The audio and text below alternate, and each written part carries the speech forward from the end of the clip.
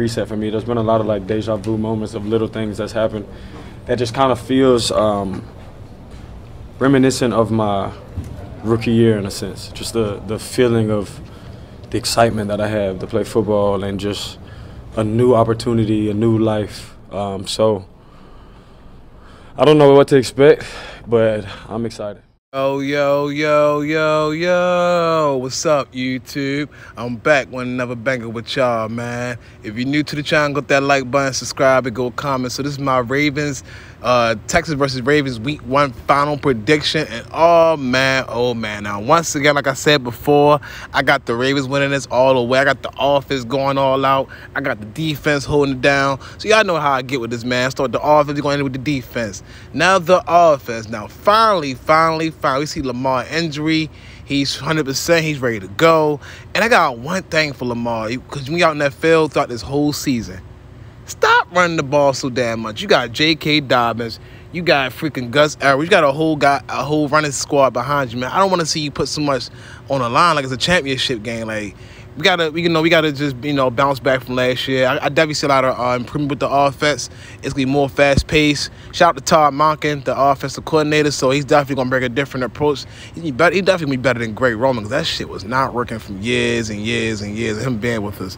But uh, I definitely got hopes and um, definitely Lamar. Stay protected out there. Now the score, I can see the score being from. Um, I can see us beating the Texans 24 to 3, 24 to 10. Depending on how this team is, I ain't gonna lie, they came back and beat the Kansas City Chiefs when they last week. So don't sleep on these teams. Y'all gotta keep y'all keep y'all feeling their neck because I know last year we had a tendency of having getting these uh these high scoring games, you know, like a, a nice, you know, 20 a blowout, and that's you know these teams that come back. So the Ravens offense got to hold up. And happy birthday to Mark Andrew, happy birthday to um Marcus Williams as well, the secondary.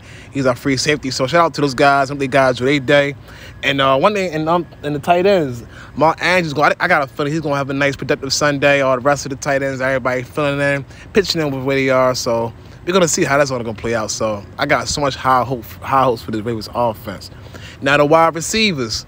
Now you already know what our Beckham J gonna do this thing. I, I love what he said at the beginning of the uh, video. I love his uh, his maturity and everything.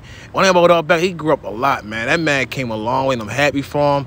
Ravens done a good job of bringing him on and letting him be the leader of the offense. So love to see bigger and better things from this offense. And um, and the running backs and the offensive line, hold it down for the Ravens. We need, we need that time possession, man. That time possession means a lot. You know, like just try to run the ball more. And the offensive line, what a great um, uh, job uh, the team has done as far as keeping that, that squad together. We need Lamar protected at all given times. Now the defense. Now I got one to say about the defense. The defense, the defense. Now you see this right here. Right, Y'all sitting in practice. We need to see this all season long. Get better at that man-to-man coverage. Like, I'm tired of Keith Sims getting brought up in the man-to-man coverage. So Texas ain't really got nobody for us to really worry about. But come on, they got some young, heavy, hot-handed receivers. So y'all get out there. Y'all be a shutdown, lockdown defensive team. Put these teams under 10 points. You know, just kind of hold hold them down, man. Stop trying to let these teams come back. Now, this is not last year. It's a new year. So I got bigger and better, high expectations for the defense. And for the um, front seven, the front seven, y'all get to that quarterback. Y'all get to the quarterback. Y'all knock their ass to the ground. Put these running backs in the negative yards.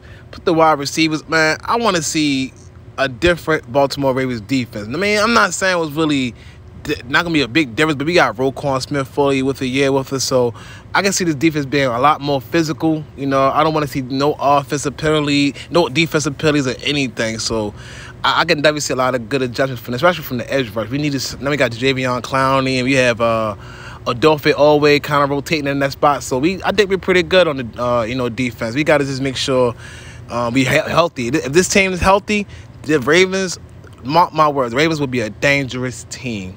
Anyway, if you're new to the channel, go hit that like button, subscribe, go comment. This is my uh, final predictions for the Ravens uh, this upcoming Sunday.